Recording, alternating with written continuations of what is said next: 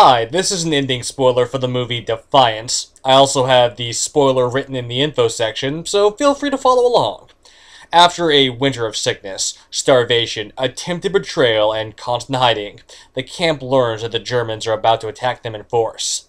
The Soviets refuse to help them and they evacuate the camp as the German dive bombers strike. As delaying force stays behind, led by Asael, to slow down the German ground troops, the defense does not last long, with only Asael and Sofiya surviving to rejoin the rest of the group, who at the edge of the forest, are confronted with a seemingly impassable marsh. They cross the marsh, but are immediately attacked by German infantry, supported by a Panzer III. Tuvia then flanks a tank with a captured MG-34 and turns into the Nazi shoulders, soldiers. Isaac is shot and killed while trying to throw a grenade, which detonates on him.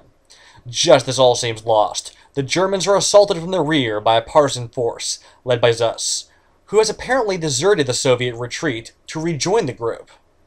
As the survivors escape into the forest, the film ends as the on screen text states that they live in the forest for another two years, building a hospital and a school, and ultimately growing to a total of 1,200 Jews.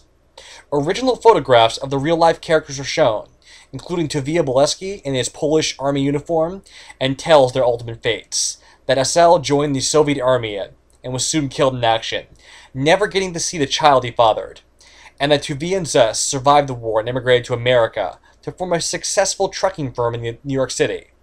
The epilogue also states that the Bielski brothers never sought recognition for what they did, and that the descendants of the people they saved now number in the tens of thousands. That's the ending. Thanks for watching this video.